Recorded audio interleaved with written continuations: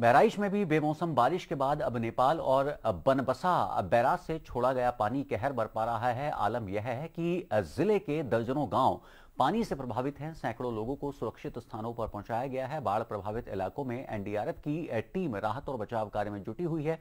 बचाव कार्य के दौरान लोगों से भरी नाव पलटने की खबर है। प्रशासन के मुताबिक नाव में सवार दो बच्चे लापता हैं, जबकि अन्य लोगों को सुरक्षित बचा लिया गया है।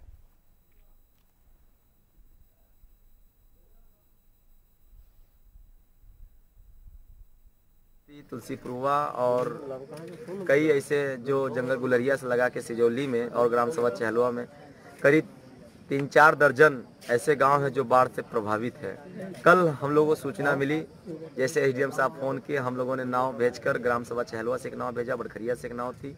दोनों नाव भेजकर लोगों को किसी तरह बड़ा मुश्किल से लाया गया। बीच में ही एक नाव जो है तेज धार की वजह से और पेड़ में टकरा गया तो उसी पर नाव पलट गया। नाव पलटने से दो बच्चे को लापता मिला और उनकी अभी तक डेड बॉडी नहीं मिल पाई है। दोनों को चल रहा है काम। खोजने के भी काम